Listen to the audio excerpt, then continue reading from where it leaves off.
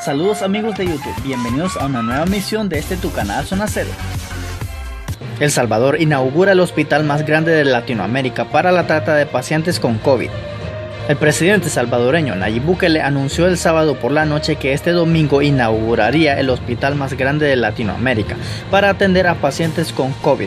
En esta primera fase contará con 400 camas de cuidados intensivos e intermedios y así descongestionar el resto de hospitales. Se llama el Hospital Provisional de Centro Internacional de Ferias y Convenciones.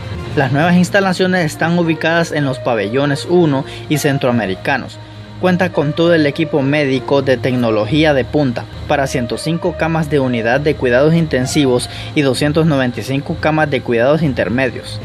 El presidente Bukele había publicado imágenes el día de ayer de cómo se encuentra este hospital, que está listo para inaugurarse y comenzar a recibir pacientes de inmediato, lo que gana puntos en su lucha contra la pandemia.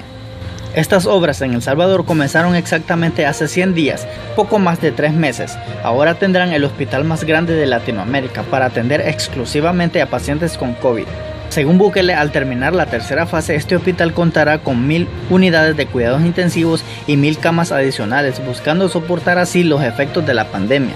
Así de bien lucen las salas que atenderán pacientes en cuidados intensivos. Se les dará un trato digno y justo a los salvadoreños pero ya desde el día de hoy se cumplen 100 días desde que se puso la primera piedra en este hospital y ahora está listo para comenzar a funcionar dando un gran ejemplo a Latinoamérica de cómo utilizar fondos públicos para la salud. Bukele en su transmisión de cadena nacional que se transmitió hace unas horas dio más detalles sobre la inauguración de este hospital y da más detalles sobre todo lo que tiene el hospital para ofrecer a todos los salvadoreños. A continuación te presento parte de esta transmisión a remodelar los hospitales, seguimos remodelando los hospitales, todos los 30 hospitales del país y además construir nuevos, ampliar. Ustedes vieron cómo, cómo hicimos una nueva ala de UCIs, de camas UCI en el Hospital Rosales y cómo quedó. Muy linda, muy parecida a lo que está aquí. Sale mejor seguir expandiendo esto y hacer esto el mejor hospital. Bueno, ahorita ya, cuando terminemos la tercera fase, va a ser el mejor hospital de Latinoamérica para atender COVID. No hay ningún hospital en toda Latinoamérica que tenga mil unidades de cuidados intensivos para atender COVID, no lo hay. Hoy estamos inaugurando 400 unidades de cuidados intensivos, de dos tipos, pero 400 unidades de cuidados intensivos. Pero no, se tomó esta decisión valiente en su momento, que lo atacaron, dijeron que no iba a servir, que no iba a funcionar.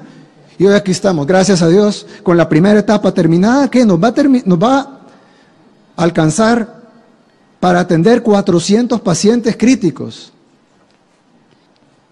y lo demás quedará en manos de Dios, pero vamos a tener a nuestros médicos, a nuestro personal de enfermería, a nuestros trabajadores de la salud, todos con el equipo necesario, lo último, como el primer mundo, con todo lo necesario para poder luchar como se debe contra esta pandemia y contra esta enfermedad y poder salvar las vidas que logremos salvar.